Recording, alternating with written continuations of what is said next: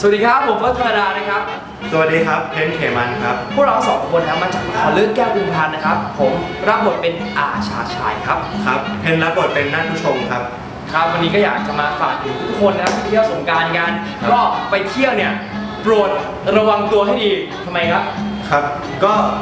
ถ้าจะไปไหนมาไหนครับ ก็ขอให้เดินทางโดยสวัสดิภาพครับ ครับผมเพราะว่าเราไปเล่นน้ำเนี่ยบางทีอาจจะเกิดอุบัติเหตุได้ไม่ไม่ว่าจะเป็นอ่าในเรื่องของการขับรถยนต์หรือว่าจะเป็นการเล่นน้ำต่างๆใช่ครับ ครับ ก็อยากให้ทุกคนนะระวังตัวให้ดีครับ ครับผม แล้วก็